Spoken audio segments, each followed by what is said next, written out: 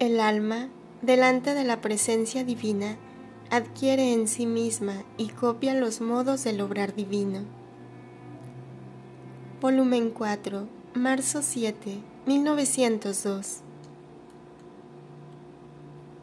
Hija mía, cuando atraigo al alma a mi presencia, tiene este bien, que adquiere en sí misma y copia los modos del obrar divino, de manera que tratando después con las criaturas, sienten en ellas mismas la fuerza del obrar divino que dicha alma posee.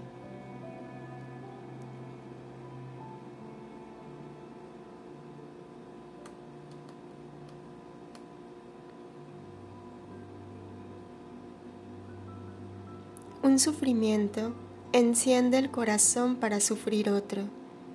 Es el modo divino de sufrir. Volumen 5, marzo 19, 1903. No, antes bien, un sufrimiento encendía más el corazón para sufrir otro. Estos son los modos del sufrir divino, no solo sino que en el sufrir.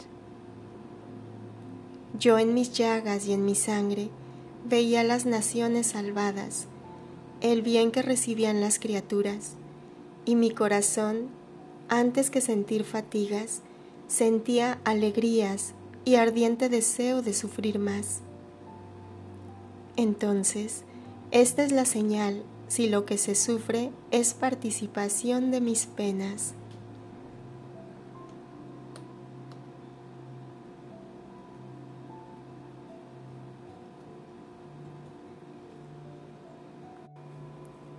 El modo de obrar divino es por el solo amor del Padre y de los hombres.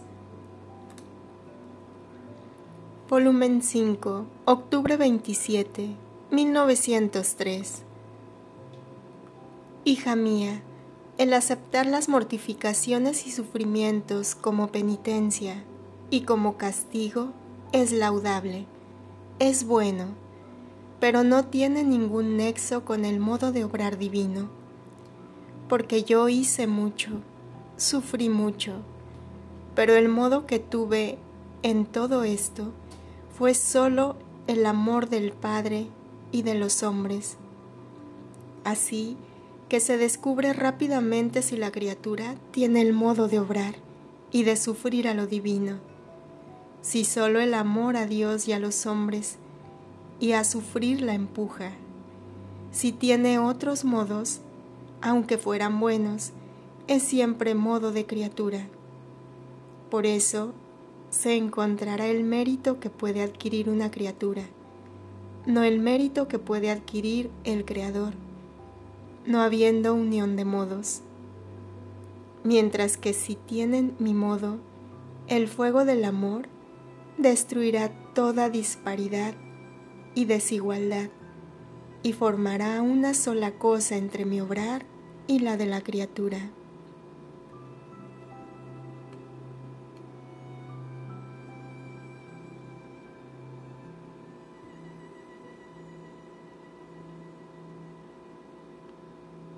No mirar el pasado sino el presente.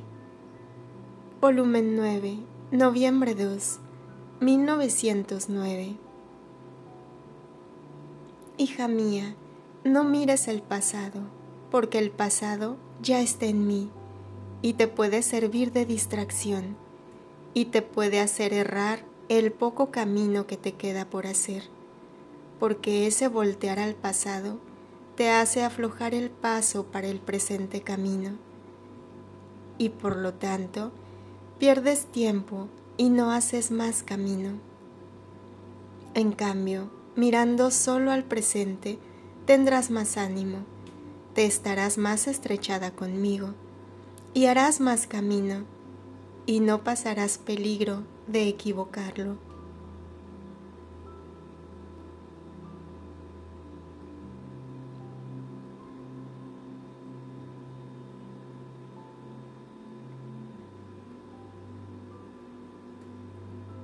La recta intención es luz al alma y le da el modo divino de obrar.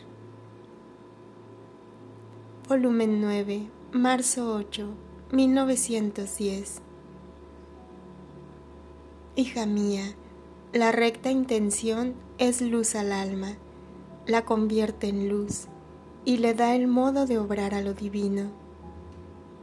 El recto obrar transforma todo en luz.